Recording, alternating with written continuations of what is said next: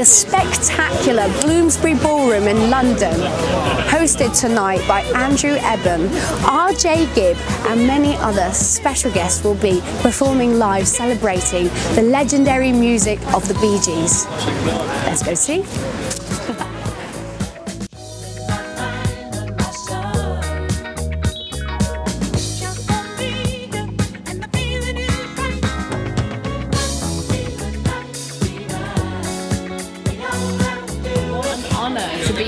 Of the original keyboard player the Bee Gees. Well, it's a pleasure for me to still be able to do it, you know. Absolutely, and, uh, absolutely. And, and, enjoy it. Oh, yes, of course. So tell us one of your fondest memories of the the times when you used to tour together in the oh, 70s. They were all great, but it got crazy after Saturday Night Fever, obviously. Oh. But I think my fondest memory was actually well, one of them was creating the music in, France for, for, Saturday Night Fever. That was amazing when we got that, because none of it was planned at the time. You know, it just came about. We'd already recorded two songs, and then Robert Stigwood phoned up and said he had the movie and he needed some music. You know, and we had we had to start. We had and to start just again. Came about like that.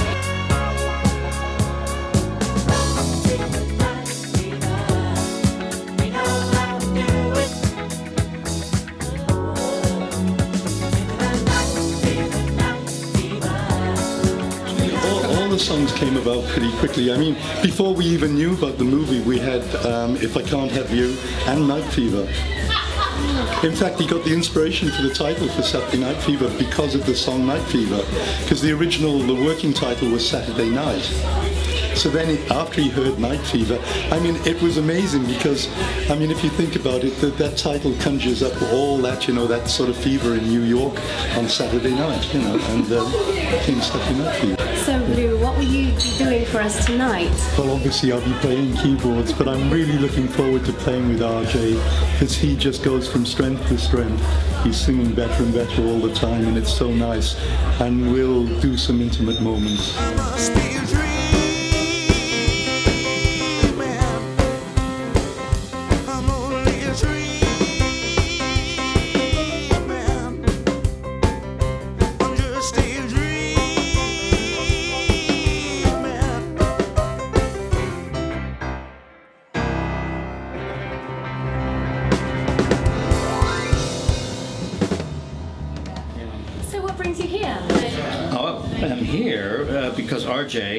Going to present his tribute to the music of the Bee Gees. And RJ, RJ and Dwina, his mother, mm-hmm. came to our wedding. So uh, I've certainly got a dear spot in my heart for them. And of course, I knew uh, the Bee Gees in the day. Well, the Bee Gees are uh, one of the top 10 groups of all time in the world for selling albums. And, and since album sales are now down, they always will be. But uh, they were brilliant songwriters. I mean, this is what people tend to, not to think of first and foremost because they were such a big recording act. But of course, they wrote their own songs. And then they wrote all of these hit songs for women. Uh, as you know, uh, Chain Reaction, Diana Ross, Islands in the Stream, Dolly Parton and Kenny Rogers, Heartbreaker, Dionne Warwick. Uh, they did one with Celine Dion. I mean, they just could write for other people as well as for themselves.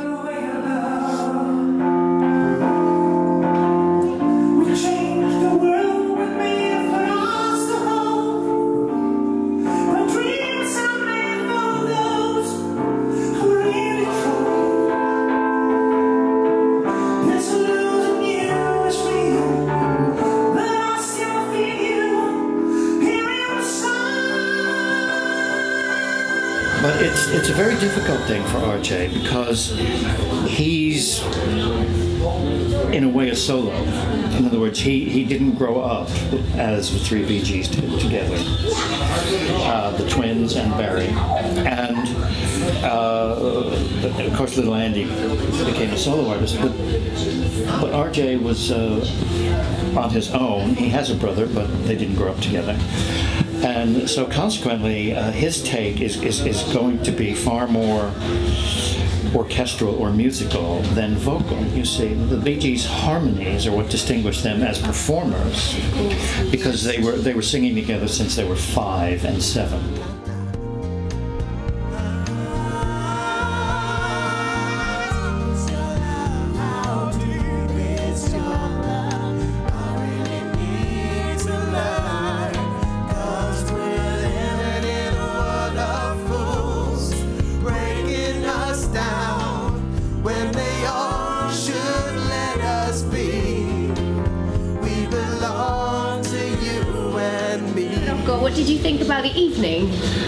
Uh, I, I'm very close friend with the family, and I used to look after Robin Gibb. I worked with him for uh, a few years before he passed away. I did his last concert.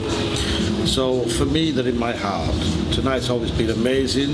The whole family's amazing, and Robin Gibb. Uh, I mean, I love him to bits, what he used to. But RJ is brilliant. To do the show to his dad, I think RJ is a legend, and it's a great show tonight. Absolutely. It's uh, good on him. I'm proud of him. Good on you, RJ. So eyes can see. So why am I so blind when that someone else is me? It's unkind.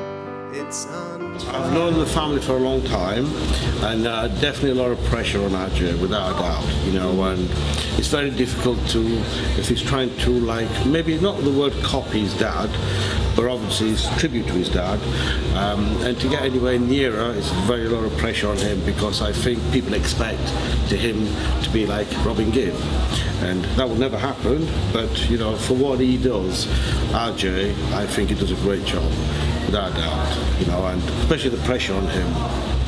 And he pulls it off quite good as well, Absolutely, I'd agree. I'd agree. I think the show was I'm proud of spectacular. RJ, yeah, yeah, always. you know. He's talented, he's a talented musician as well. I've had the pleasure of working with him on a few of the shows. Uh, the boy is gifted, you know, really is. RJ is brilliant. Thank you.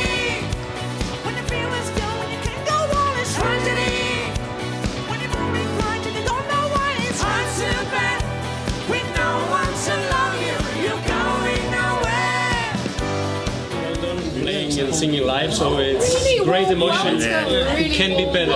It's a pleasure to be here and play together for RJ Gibb I to and celebrate the music of the father and uncles, the Bee Gees. So I believe you've dedicated your whole life, your whole musical career Exactly. to yeah. this purpose. Yes, it's more than so 20. amazing. Yeah, 20 years ago. 20 years ago. And we have been in, in England, in Manchester, on ITV1 was our first experience in England. But now I'm really so happy to be in London to perform live.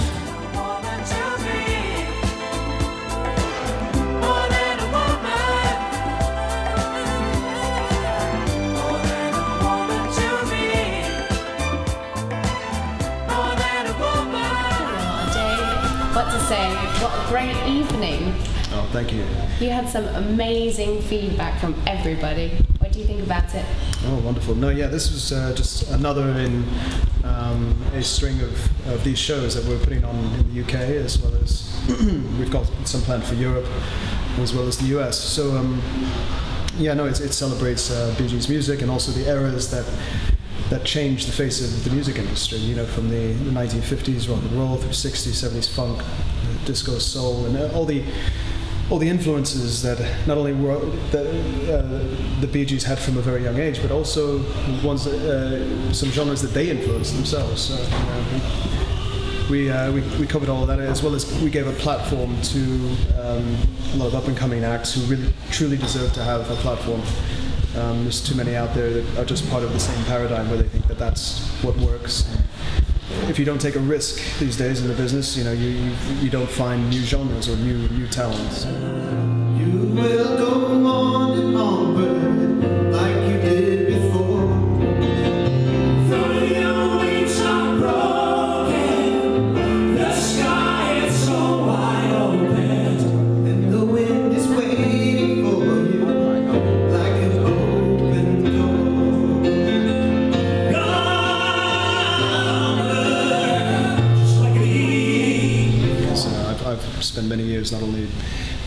My own music, but also for, for others. So I'm a music producer and, uh, and I, I write for other artists as well. So I know I know a lot about um, you know uh, what, what this this industry needs as far as um, bringing new talent to the fore. So no, that's exactly what this was a vehicle for as well.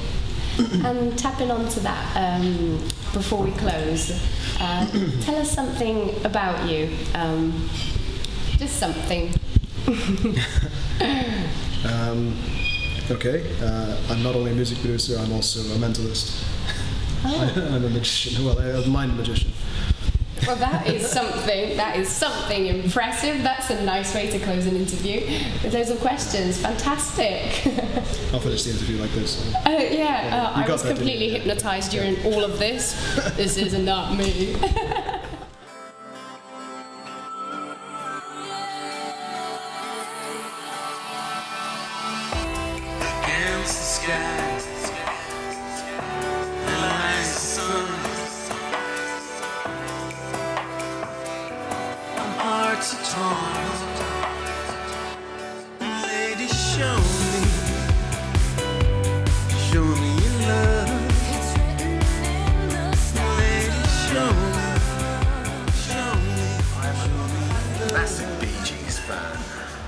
um, and although I'm not performing uh, Bee Gees numbers, I should let you know that, of course, in my formative years as a child growing up in the 70s in South Croydon, uh, the Bee Gees were very much on my mind and riding around on a chopper bike in the summer holidays, um, eating space dust candy, and going to the cinema to watch Close Encounters of the Third Kind, and the Bee Gees were very much, you know, the pulse of that that period, and they left an indelible impression on me.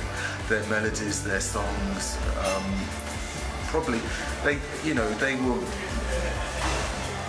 contributing artists, and there were many of them around at the time that had a huge impact on me.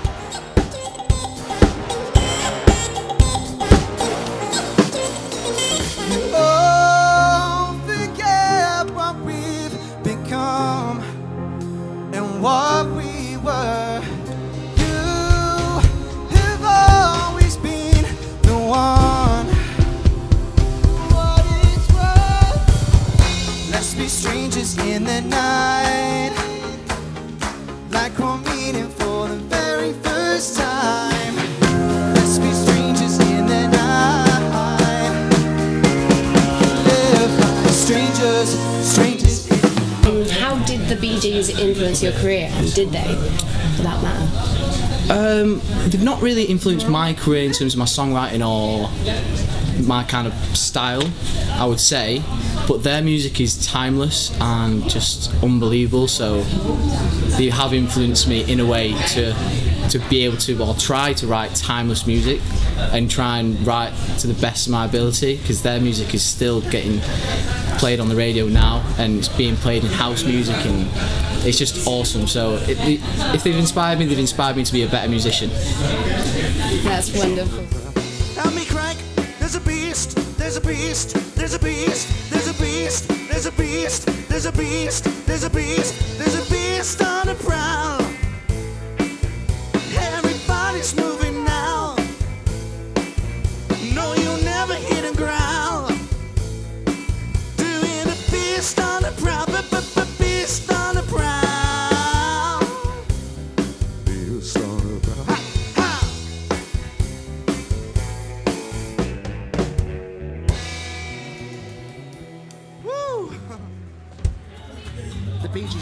So inspiring as songwriters. You know, even if I could write a song half as good as one of theirs, I would be a Yeah. really good If we could songwriter. write half a song as one of the worst ones of theirs. yeah, yeah.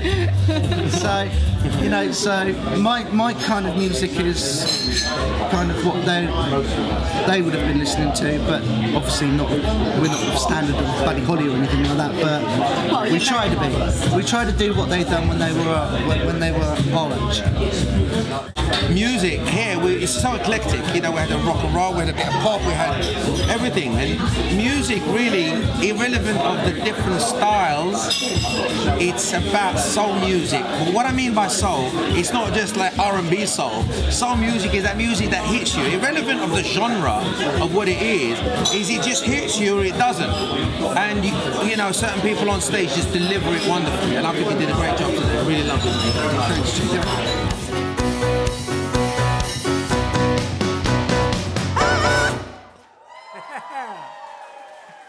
Thank you very much, you. Mr. Blue Weaver. Grazie. RJ Gibb.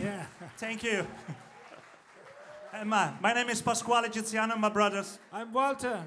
And Davide. I think I'm Davide, yeah. What do you think about the evening? I thought the evening was sensational. RJ and I set up the business about a couple of years ago, and we said what we're going to do is do a wonderful tribute to his uncles, the Bee Gees, but also to his father, Robin Gibb. But RJ himself is blessed with his own very special talent. So he has got a superb voice, as you heard tonight. Absolutely. And he's also a brilliant singer-songwriter. So all of his compositions that we heard, we're going to be releasing an EP later on this year. And this is the great legacy that Robin and his uncles would have wanted. That's so exciting, and I think you did an amazing job tonight. Do you think you met your expectations? Um, I think what we've done is t- uh, touch the tip of the iceberg because we did a little preview at the beginning of the year, and what happens is more and more people said they wanted to come on board. So, in addition to giving a platform for new artists, and we had Jessie Ray today, and we had Joel was great, and we also had some established artists such as Modern Romance. So, in the 80s and 90s, they were huge, and I love their music. So, the soundtrack of Shrek, for example, came from Modern Romance. And what I loved about the Bee Gees music is they are the soundtrack of several generations. So what they do is you suddenly realise that the soundtrack of people's lives can come from one band. It's just superb. How magical! That is fantastic.